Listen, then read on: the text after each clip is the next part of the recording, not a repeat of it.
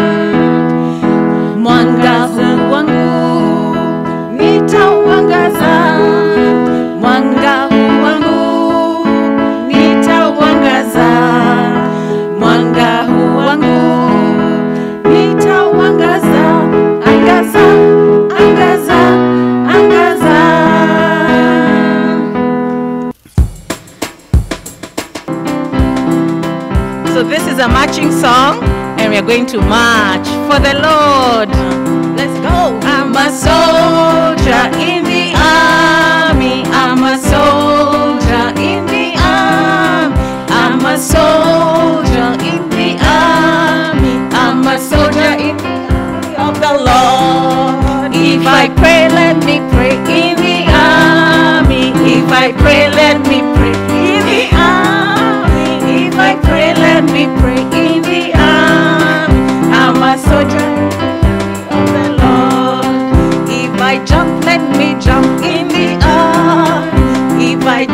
let me jump. If I jump, let me jump in the army. I'm a soldier of the Lord. If I clap, let me clap in the army. If I clap, let me clap in the army. If I clap, let me clap the army. I'm a soldier in the army of the Lord. Indeed, we are soldiers in the army of the Lord. Now it's time to celebrate the special kids who had their birthdays this week. Mm. We have some children at home who are going to sing for those who celebrated their birthday last week.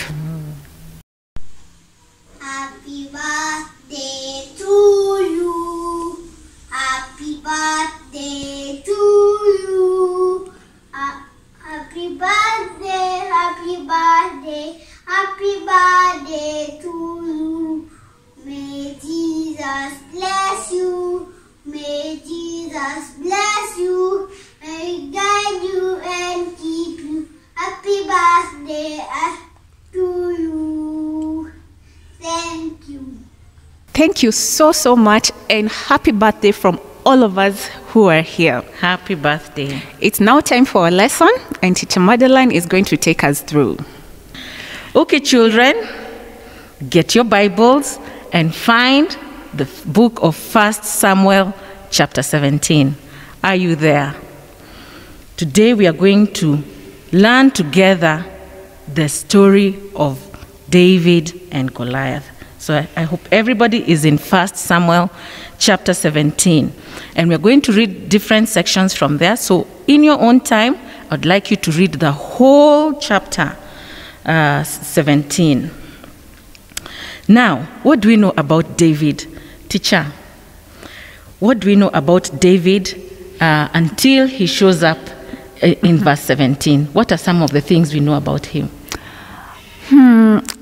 I remember David was a shepherd, and um, he was the last born, He was the last born. uh-huh. and he had so many brothers. How many? Does anybody know? How many, teacher? I think there were seven. There was Yes, sir. 7 Okay. And, and, and what do we know? What was the name of his father? Was it Jesse? His father was called Jesse. And where, in which town did he come from? I think Bethlehem. Bethlehem. Very good. So that's what we know about David. And what do we know about Goliath? We know that Goliath was very, very tall. And I'd like teacher to read for us from verse 17, 4 to 8. We see how big and strong and how he was dressed. Teacher, can you read for us? Uh, from Verse verse 4, the, then Goliath, a Philistine champion from Gath, came out of the Philistine ranks to face the forces of Israel. He was over nine feet tall. Mm-hmm. Nine feet tall. Mm-hmm. Wow.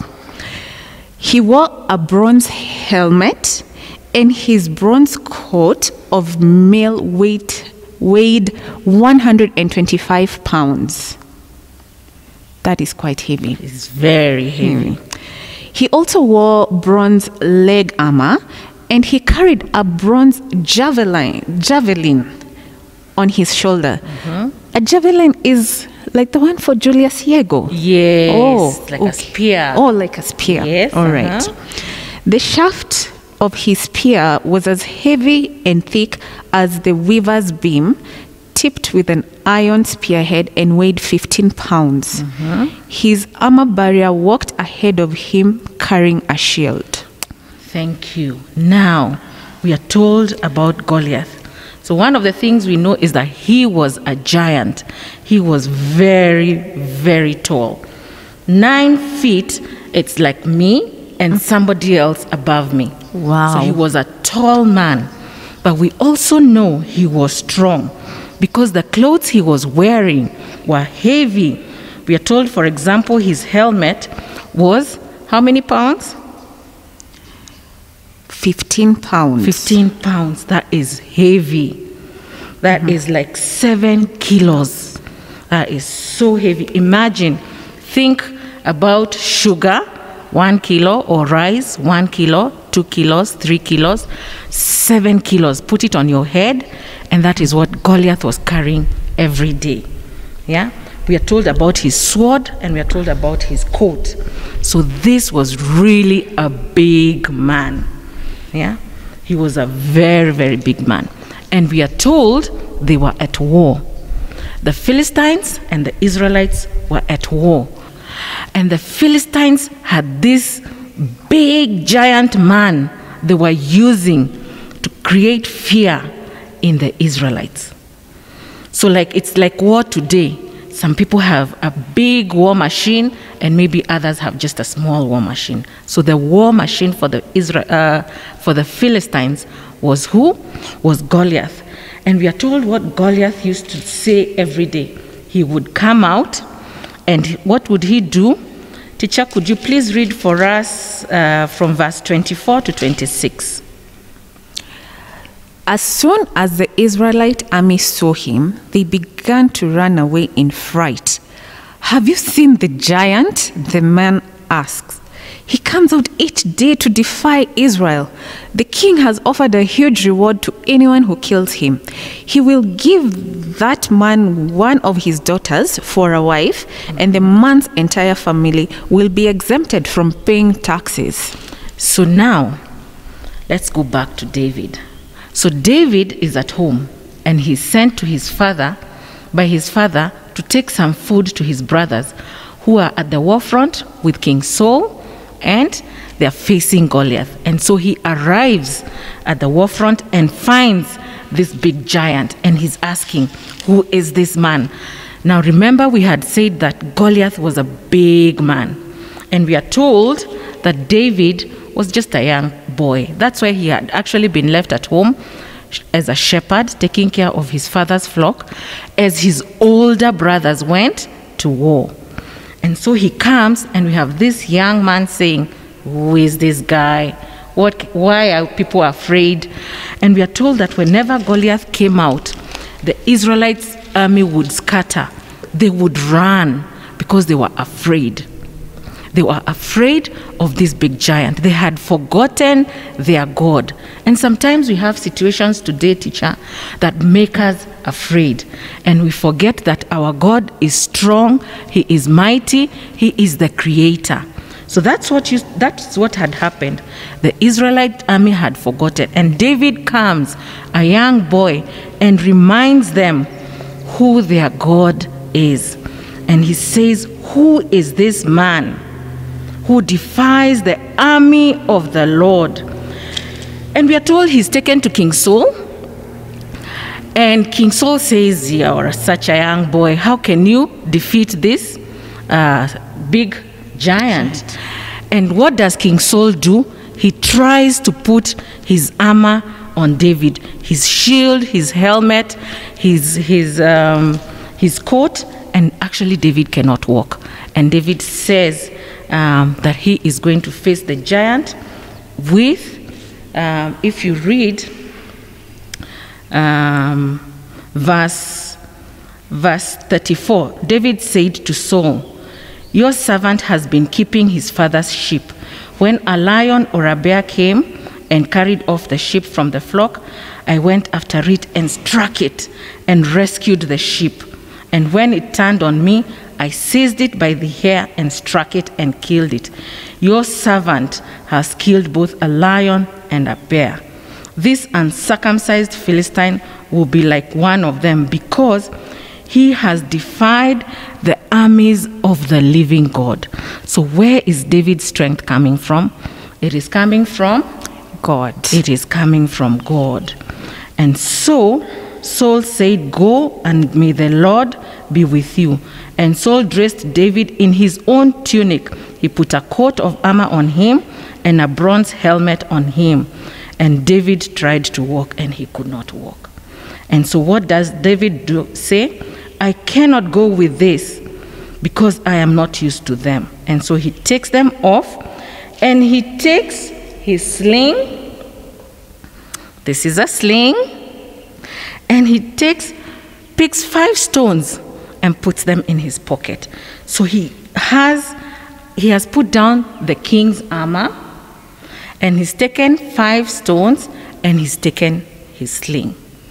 Now remember, Goliath has a helmet, a bronze helmet. He has a bronze coat. What can a stone do to him? Actually, the stone cannot do anything to Goliath. So, what does he do? He takes his sling. Um, the Bible shows he had the one that you swing like this, but this is also what I, when we were growing up, this is what we used to play with. And he aims and he hits Goliath on the very place where he is not armed, which is on his forehead, and Goliath falls. And let me ask you, children at home, do you think it is the stone that fell Goliath, or it is the hand of God? I want you this afternoon to try, make sure you're not near any windows or anything you can break. Go to an open ground, find a mark, and try and see. And I can tell you that unless it is God who was working through David, there is no way Goliath would have been killed with a stone and a sling. So we know it is God who helped David. Yeah? It is God who helped David. And what do we learn? The situation was hopeless. The situation was hopeless. There was the giant, and the armies were afraid. Even the king was afraid. It is like today, we are finding ourselves in some situations that are hopeless. What situation are you in that you feel is hopeless? Yeah? Where do you need God to give you the courage of David and to strengthen you to be able uh, to cause you not to fear and to rely on Him? Whatever that situation is, you need to trust it to God like David did. Goliath challenged the armies of the Lord. These situations, it could be COVID, it could be suddenly we've been told that exams are coming up soon, and many other things that are troubling you. If there is anything that is troubling you, you can give it to the Lord. Yeah? You can give it to the Lord. Amen. Amen. Amen. Thank you so much for that wonderful lesson. As we end the lesson today, our memory verse comes from Isaiah 41 and verse 10, and it says, I am your God. I will strengthen you and I will help you. Let's say it together. Isaiah chapter 41 and verse 10. I am your God. I will strengthen you and I will help you. Thank you. Indeed, from the story and today's lesson, some things are big, but our God is bigger, and He is indeed our helper and our strength. And before we end, there's a song that says that our God is big, He is so mighty, and He is our strength. My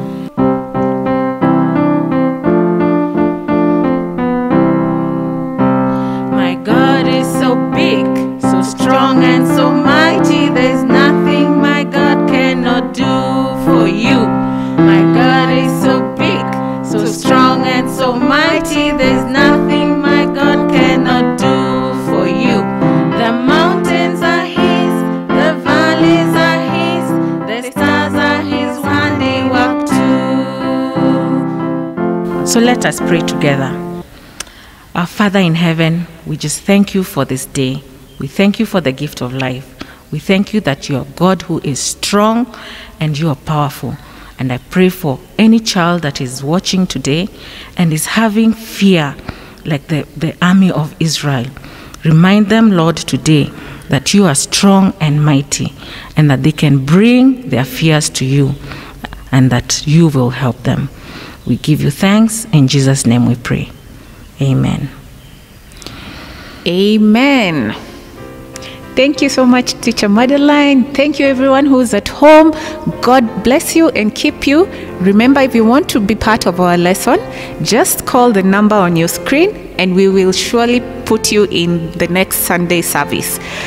Be blessed and keep safe. Bye.